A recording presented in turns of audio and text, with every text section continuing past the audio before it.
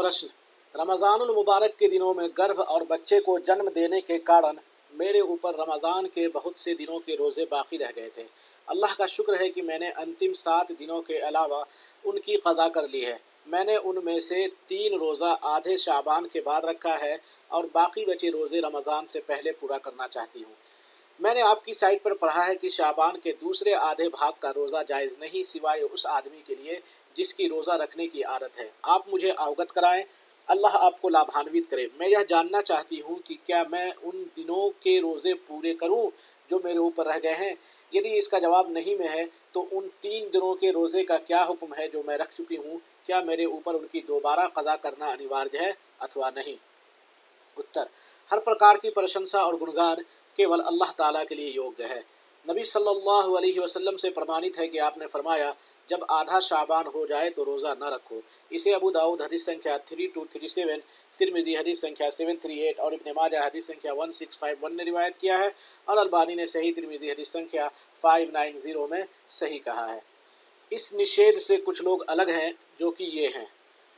जिस व्यक्ति की रोज़ा रखने की आदत हो, जैसे कि वो आदमी जिसकी सोमवार और जुमरात को रोज़ा रखने की आदत है तो वो उन दोनों दिनों का रोज़ा रखेगा, चाहे आधे शाबान के बाद ही क्यों ना हो।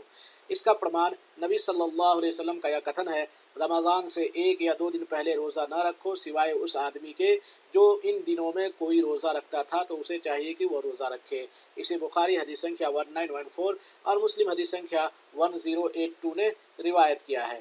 नंबर दो, जिस आदमी ने आधे शाबान से पहले रोज़ा रखना शुरू किया और आधे शाबान के बाद के रोज़े को उसके पहले के रोज़े से मिला दिया तो ऐसा रोज़ा भी निषेध में शामिल नहीं है। इसका प्रमाण आयशा रदी अल्लाह का यह कथन है, अल्लाह के रसूल सल्लल्लाहु अलैहि वसल्लम पूरे शाबान का रोज़ा रखते थे, आप कुछ दिनों को छोड़कर पूरे शाबान का रोज़ा रखते। इसे बुखारी हदीस संख्या 1970 और मुस्लिम हदीस संख्या 1156 ने रिवायत किया है और हदीस के शब्द मुस्लिम के हैं।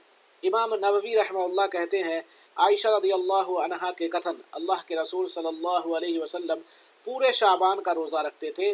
आप कुछ दिनों को छोड़कर पूरे शाबान का रोज़ा रखते थे। मैं जो दूसरा वाक्य है, वो पहले वाक्य की व्याख्या है और उनके कथन पूरे शाबान की व्याख्या अक्सर शाबान है। यह हदीस आधे शाबान के बाद रोज़ा रखने के जायज़ होने पर दलालत करती है, लेकिन उस आदमी के लिए जो उसे आधे शाबान से पहले मिलाए। नंबर तीन, तथा इस निषेध से वह व्यक्ति भी अलग है जो रमज़ान की कदा का रोज़ा रखता है। इमाम नबी रहमा ने अलमजमू में लिखा है, हमारे साथियों का कहना है कि बिना किसी मतभेद के, संदेह के दिन रमज़ान का रोज़ा रखना सही नहीं है। यदि वो उस दिन की कज़ा या नज़र का या कफ़ारा का रोज़ा रखता है तो यह उसके लिए किफ़ायत करेगा, क्योंकि जब उसके लिए उसमें ऐसा नफल रोज़ा रखना जायज़ नहीं है, जिसका कोई कारण हो तो फ़र्ज़ रोज़ा रखना उससे अधिक प्राथमिकता रखता है। तथा इसलिए कि जब उसके ऊपर रमज़ान के केवल एक दिन की कज़ा बाकी है तो वो उसके ऊपर निर्धारित हो गई, क्योंकि उसकी कज़ा का समय संकीर्ण हुआ। नववी की बात समाप्त हुई।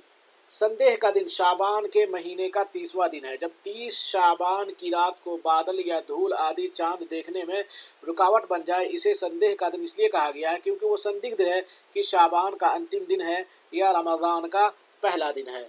उत्तर का सारांश यह है कि शाबान के दूसरे अर्ध भाग में रमज़ान के छूटे हुए रोज़े की कज़ा करने में कोई आपत्ति की बात नहीं है।